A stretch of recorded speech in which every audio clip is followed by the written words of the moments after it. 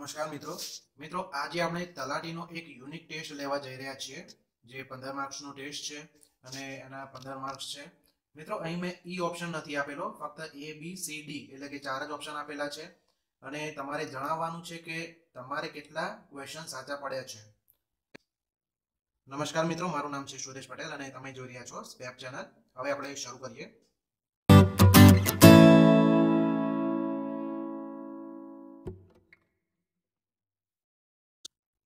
પહેલો પ્રશ્ન છે Indian council of agricultural research એટલે કે એનું જે શોર્ટ નામ છે આઈસીએઆર ક્યારે અસ્તિત્વમાં આવી?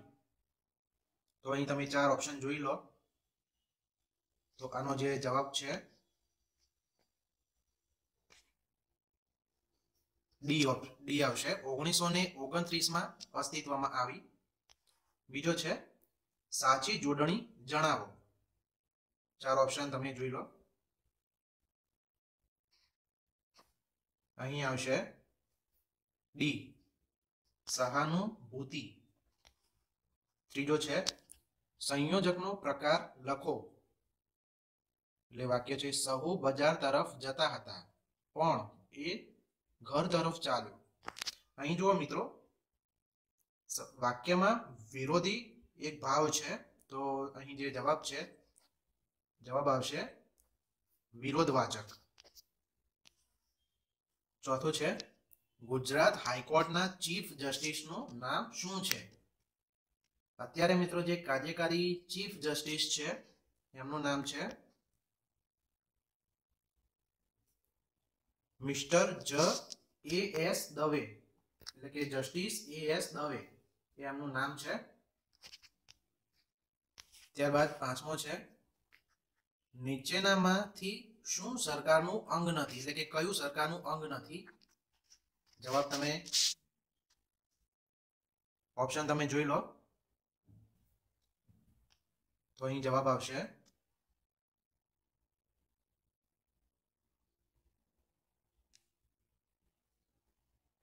સામાજિક સંસ્થાઓ.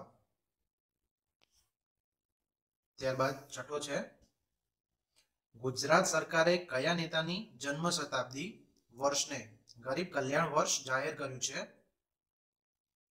ચાર ઓપ્શન છે, ઓપ્શન જોઈ લો.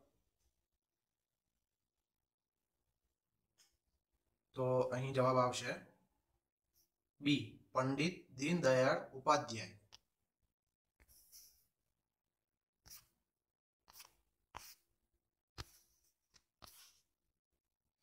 સાતમું છે. દિનકર રાય વૈદ્યનું ઉપનામ જણાવો.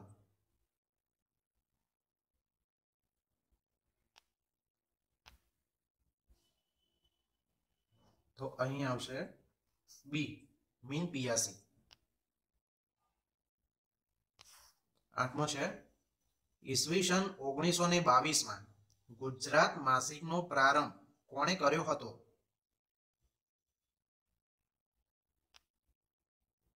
તો અહીં આવશે. સી, ગાંધીજી. મિત્રો, અહીં એક ઇન્દુલાલ યાજ્ઞિક આ સામાયિકને હેન્ડલ કર્યું હતું જ્યારે ગાંધીજીએ શરૂઆત કરી હતી. નવમો પ્રશ્ન છે. ખાલી જગ્યા you work hard you will be sorry you will lose તો ચાર ઓપ્શન છે. ઓપ્શન જોઈ લો. તો જવાબ છે. એ સોરી એ અનલેસ દસમો છે. સમાસ ઓળખાવો. સત્યાગ્રહ.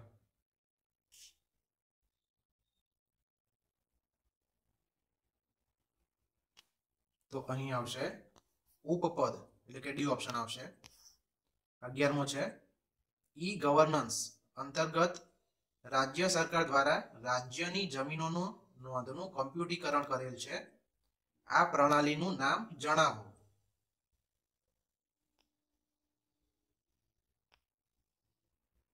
તો અહીં જવાબ આવશે ઈ ધરા બારમો છે.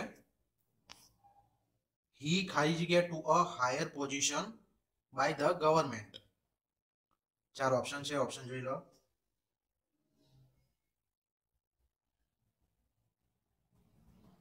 તો અહીં જવાબ આવશે ડી પ્રમોટેડ ત્યારબાદ તેરમો પ્રશ્ન છે. વાંસદા રાષ્ટ્રીય ઉદ્યાન કયા જિલ્લામાં આવેલું છે? ઓપ્શન જોઈ લો. તો અહીં જવાબ આવશે સી, નવસારી. ચૌદમો છે, એક કાટકોણ ત્રિકોણની બાજુઓ ક્રમિક ધન પૂર્ણાંક હોય. તો તેનું ક્ષેત્રફળ જણાવો. જો મિત્રો, અહીં ક્રમિક ધન પૂર્ણાંક આપેલી છે, એટલે કે જે કંઈ ધન પૂર્ણાંક હોય એ ક્રમિક લેવાનો છે. તો ધારો કે ત્રણ, ચાર, પાંચ એ લો તો તમે એનું ક્ષેત્રફળ આવે છે છ.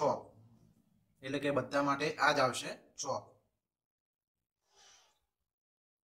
પંદરમો છે. પહેલાના સમયમાં કોઈ રાજા કે શાસક પોતાના શાસન વિષયક સિદ્ધિઓની વિગત, ધાતુ કે પથ્થર ઉપર કોતરાવતા. આવા કોતરેલા લખાણોને શું કહે છે? અહીં મિત્રો ચાર ઓપ્શન છે. ઓપ્શન જોઈ લો.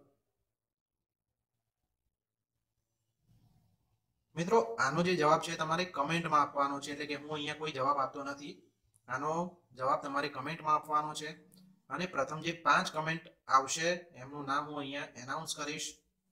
એટલે કે મિત્રો, તમે સાચો બને તેટલો સાચો જવાબ આપજો. પ્રથમ પાંચ કમેન્ટ હું અહીંયા અનાઉન્સ કરીશ અને આનો જે જવાબ છે હું આવતા વિડીયોમાં આપીશ. એટલે કે તલાટીનો જે આવતો વીડિયો હશે, એમાં હું આનો જવાબ આપીશ. તો મિત્રો, આ હતા પંદર પ્રશ્નો અને આના જે જવાબ છે એ અત્યારના મેં વિકીપીડિયામાંથી નીકાળેલા છે જવાબ. તો મિત્રો, જવાબ તો બધા સાચા જ હશે. તો મિત્રો, આપણે ફરી મળીશું ત્યાં સુધી રજા લઈએ. Thank you